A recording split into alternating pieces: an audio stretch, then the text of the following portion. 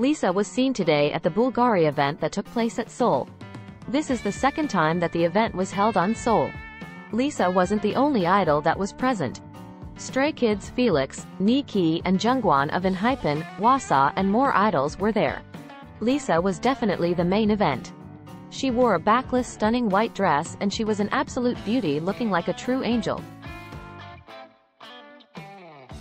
Since Lisa becoming an ambassador for Bulgari, she has never failed to shock fans with her visuals and aura at global events when she represents the brand.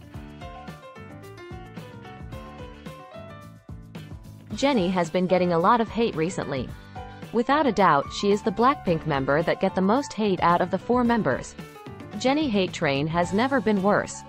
It first started when the rumors about her dating V were released. This has been a difficult topic and nothing was confirmed. Neither YG or HYBE said anything about this and this is why those rumors are still going. The hate train got worse when the idol was released. The idol has been getting a lot of bad reviews and has received harsh criticism. Fans have also expressed discomfort with the revealing costumes and sensational lines featured in the show. Jennie's provocative dance sequence with the male dancers has received negative reviews. For most people the dance is inappropriate but they are forgetting that this is an American series not a kids show. But what she has been getting more hate recently is about her performance on tour. Some people are complaining because she doesn't give it all compared to the other members and that she performed the best on America. We should know that she has been on tour for 8 months now and she said herself that her body get tired very fast compared to the other members.